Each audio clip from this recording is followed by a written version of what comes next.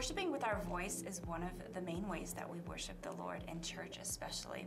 And there's a Hebrew word for this that describes what it looks like in the Bible to use our voice in worship.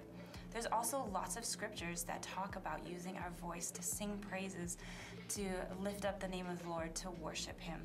In Psalms, it talks about speaking the praises of the Lord. It talks about blessing the Lord at all times.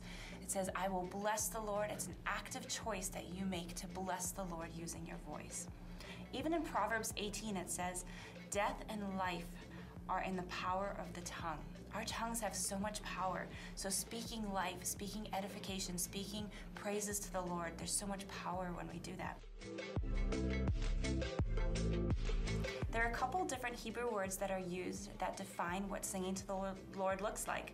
But let's look at the Psalms, because in the Psalms alone, there are 75 references to singing to the Lord. It says, Sing praises to our King, be ever singing your praise. Oh, sing to the Lord, sing to the Lord all the earth. Bless his name, come into his presence with singing. And in Isaiah 42, we are commanded by saying, Sing to the Lord a new song, sing his praises from the ends of the earth.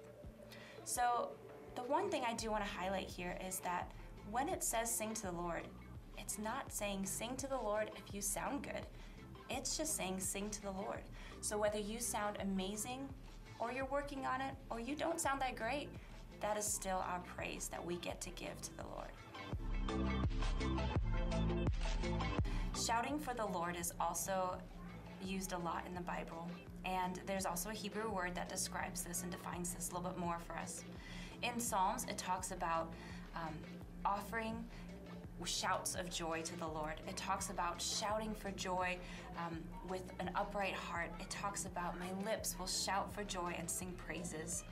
Shouting is the most extreme use of your voice that you can do but in worship it is powerful. In Leviticus, it even talks about that the people shouted for joy. And David talks about shouting to God with a voice of triumph. So when you have victory, when the Lord has done something amazing, shouting for joy is a natural expression of praise, of adoration, of thanksgiving towards the Lord as we shout that the Lord has been victorious, that He has overcome. And it is definitely an amazing way to celebrate and to worship the Lord with shouts of joy.